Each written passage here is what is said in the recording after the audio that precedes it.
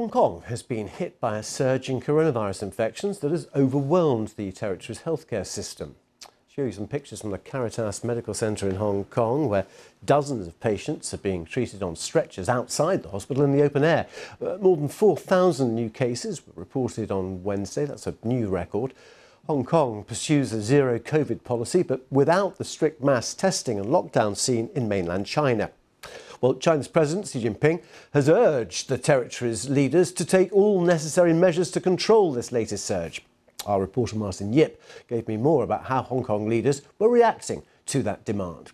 Carrie Lam, the chief executive, the city's leader, is uh, vowing to uh, keep leading the city's effort to combat this COVID 19 uh, epidemic. Uh, and she says she will make use of these uh, blessings from uh, the capital from the uh, central government. That's actually some oddity to point out here that uh, usually when you hear President Xi Jinping giving out this kind of uh, important orders in, in China's uh, political rhetoric, you would have seen this being reported by the Xinhua News Agency, the top propaganda mouthpiece uh, of the Communist Party of the Chinese government, but this time it's from the two local newspapers, Ta Kung Pao and Wen Wei Po. Yet these two papers are regarded as uh, uh, directly uh, reporting to uh, the central government's liaison office in Hong Kong, so it's uh, pretty official. And we already have the new Legislative Council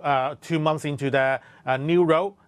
these nine, 89 out of 90 people are pro-Beijing uh, politicians. They issued a statement uh, saying the, the government, Carrie Lam's government, should heed to what President Xi Jinping is saying and do the most they can to combat the virus. So at least there's a political atmosphere uh, telling the government to do exactly what is believed to be instructed by Beijing.